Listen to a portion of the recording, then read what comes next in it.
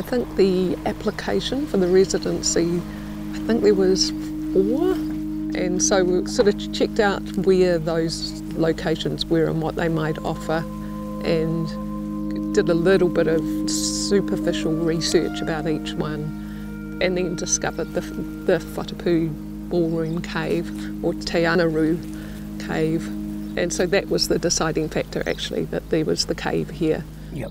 And that this was the closest place to the to stay for the cave, and I think also Well, if the the, kids- kids. could come with us, you Yeah. know, like if the house was big enough for the kids.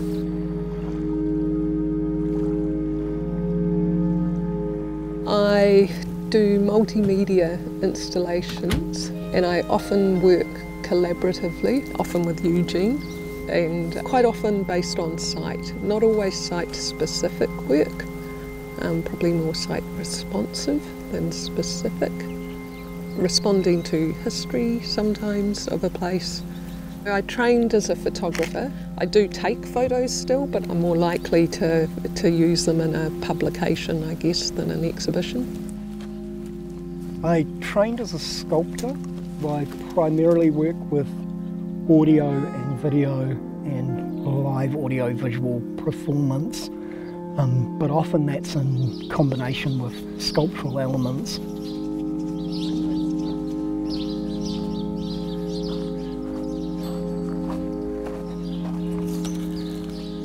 When you mention the cave, lots of people know about it, but they only know a little bit, and it's just through word of mouth.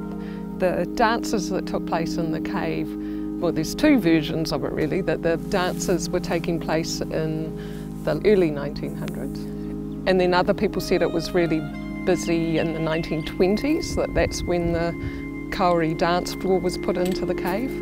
But there's also sort of evidence that it, there was a dance floor put in there earlier. So um, possibly there's two, been two dance floors um, at different times, we're not really sure. And we have heard that, which is why we came out here in the first place, was that the dance floor is still in the cave under five metres of sand.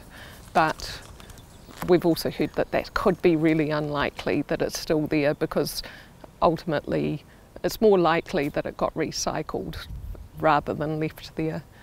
We have also read that the dance floor was hoisted up between dances, hoisted up to the ceiling to protect it from the, the sea, tide, the tide coming into the cave.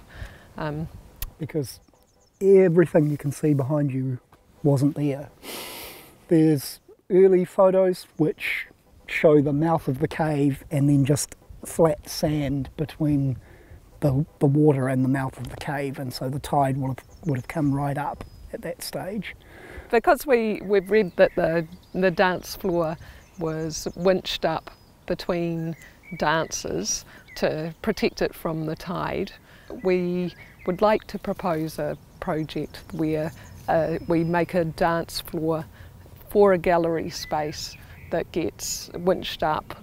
Um, at this stage, it's probably, hopefully, going to be automatically lifts and uh, in time with the tides. Um, that's not possible for some reason, then it may be that it gets hoisted um, manually with a group of people hoisting it up and possibly just brought down only on Saturdays because the dances were held on Saturdays.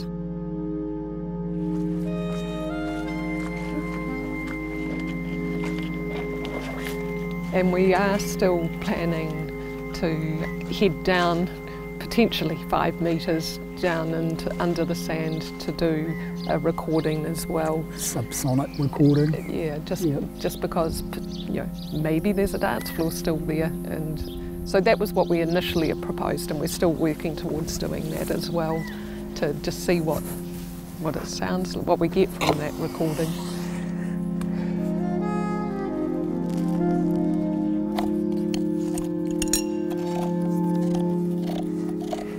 There's the, the notion of the remoteness and the history of the cave. The fact that possibly, probably not, but possibly there's a dance floor buried under metres of sand in the cave is this kind of unknown or Imagined. yeah, history, this kind of inaccessible history. We're not anticipating being able to find it. And it's not really the point of it. The, it, the point is what we can what we can do with that idea of a dance floor being here. There's something in that. More than a need to find it. There are two sensors in the capsule. The sensor for the geophone, which is the seismographic sensor, which will pick up subsonic vibrations. And then into the top of the capsule, I've glued a contact microphone.